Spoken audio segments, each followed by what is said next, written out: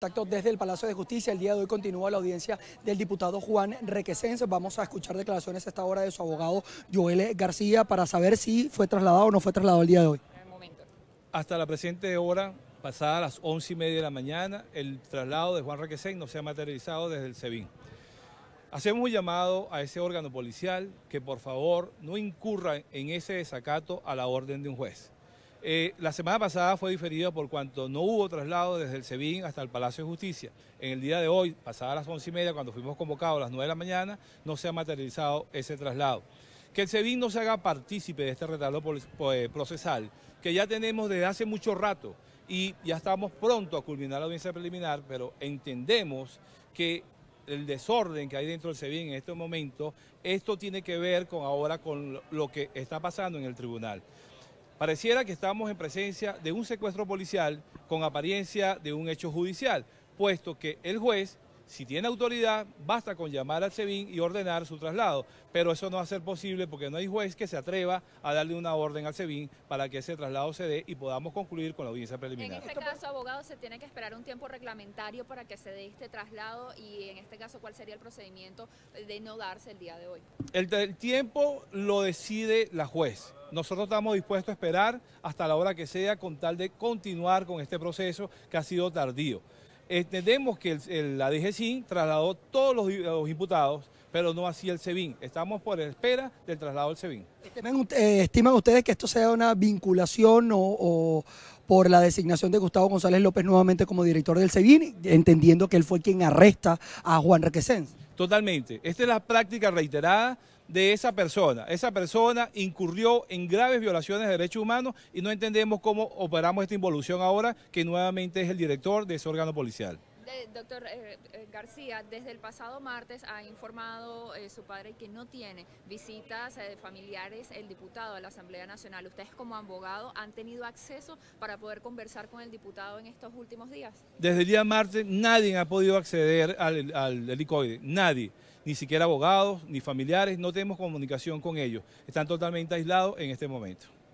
¿Qué es lo que se espera? Porque desde hace dos semanas ya se esperaba por lo menos tener, eh, saber a ciencia cierta si íbamos o no a juicio en este caso. ¿Qué falta para llegar a ese punto? Simplemente siete imputados que declaren y la defensa que hagan los descargos de cada uno de ellos y la juez tomar la decisión. Espero yo que ojalá pudiéramos avanzar en el día de hoy tomando esas declaraciones de los imputados si el SEBIN traslada a Juan Requesén y a las otras personas que están junto con él en ese centro policial.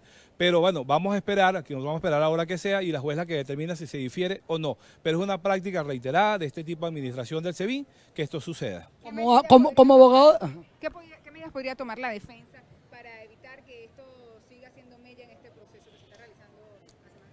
Si fuese judicial la solución, interpondríamos un amparo constitucional, pero ya vemos que no es judicial, puesto que si fuese judicial, la juez con levantar el teléfono y llamar al director del SEBIN bastaría para que el traslado estuviera aquí. Pero eso no va a suceder, puesto que el SEBIN está por encima de la juez. Doctor En el caso de la situación de los detenidos, más allá de no tener ustedes tampoco como abogados acceso a ellos, ¿cuál es la situación en estos momentos, e incluso de reclusión, luego de que hubiera una información de que el DGC había tomado el control del SEBIN en este caso? Mira, desconocemos cuál es la situación personal de cada uno de ellos, cuanto de salud, estado de ánimo y si han sido objetos de maltrato o no. Lo desconocemos hasta este momento, puesto es que el hermetismo es grande lo que reina en este momento. Ustedes como abogados defensores siempre van a apelar a que se dé la libertad de Juan Requesense, pero ¿cuál es el pronóstico que ustedes tienen entendiendo toda esta situación y esta dilación procesal que ustedes están denunciando?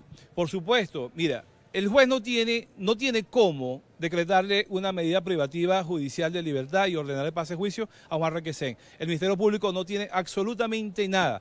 Juan Requesén es un preso político, es un secuestrado político. Contra Juan Requesén no obra ni un solo elemento de convicción. Lo están involucrando con otros siete eh, individuos en esta causa. Eh, ¿Cuál es la situación que ha pasado también con esas personas, más allá de que usted no sea el abogado defensor, pero ha estado en las deliberaciones y también en los testimonios que también se ha dado y el aporte que también ha dado la Fiscalía en relación a este caso? ¿Qué está sucediendo con ese grupo de siete personas, incluyendo allá a Juan Requesén? Son 16 personas y con Juan Requesén 17. Con respecto a los argumentos fiscales, con respecto a, disculpa, con relación a los demás imputados, eh, está operando lo que muy popularmente yo digo, cotidianamente digo, que el Ministerio Público está aplicando la teoría del saco de gatos.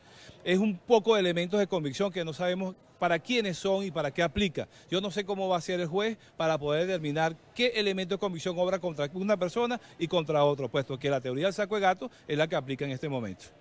Bien, son las palabras de Joel García, quien es el abogado defensor que el día de hoy se encuentra acá informando que no ha sido trasladado el diputado Juan Requesens hasta esta instancia judicial para la continuación de su audiencia preliminar. Ha dicho en relación a las 17 personas que están involucradas en este caso que no hay ningún elemento de convicción. También asegura que hay un aislamiento que tiene actualmente Juan Requesens debido a que desde la nueva designación de Gustavo González López como eh, director del El SEBIN no ha podido ingresar ni sus abogados ni sus familiares a verificar la situación del parlamentario. Tampoco, también así ha sido con las otras personas que están allí eh, detenidas en la sede del Servicio Bolivariano de Inteligencia Nacional. Nosotros vamos a estar atentos al desarrollo de toda esta audiencia preliminar. Debería generarse el día de hoy, a menos que la juez de la causa, que es eh, un tribunal de control con competencia en el terrorismo, pueda eh, determinar nuevamente lo que pueda ser la postergación de esta audiencia a otro día, la cual sea fijada según las partes estén eh, relacionadas. Es la información que nosotros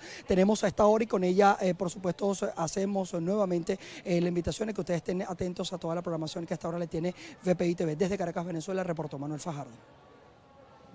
Esta transmisión es presentada por Rapidez y seguridad son elementos claves cuando buscas mostrar solidaridad a tus seres queridos.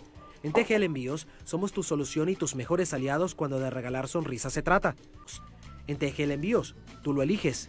Nosotros hacemos el resto. Salvador Peluquería. Visítanos en Maracaibo, Ciudad Ojeda, Acarigua, Santa Bárbara del Zulia, Paraguaná, Panamá, República Dominicana, Miami, Curazao y próximamente en Italia. Only for Men. Centro San Ignacio, nivel Blandín, Caracas. Te lo llevo desde usa.com. Estamos ubicados en 8386 Northwest de la calle 68 del Doral, Miami.